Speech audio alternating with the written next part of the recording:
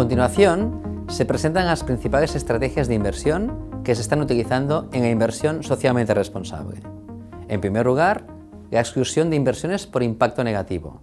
Se basa en excluir del universo de inversión aquellas empresas que realicen actividades contrarias a ciertos valores éticos o religiosos. Los criterios de exclusión pueden ser distintos, pero los más comunes son el armamento, la pornografía, el tabaco, la energía nuclear y la explotación infantil.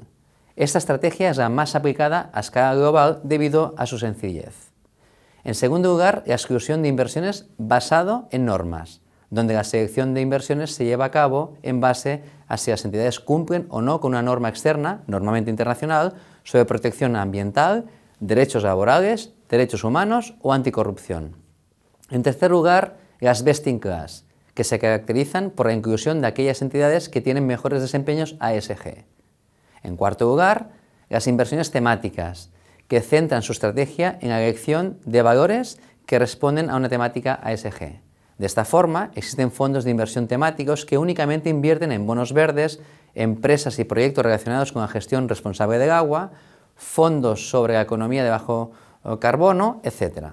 En quinto lugar, las inversiones de impacto. Es la estrategia cuyo propósito es la resolución de un problema social y medioambiental concreto. En sexto y último lugar, el engagement o voting.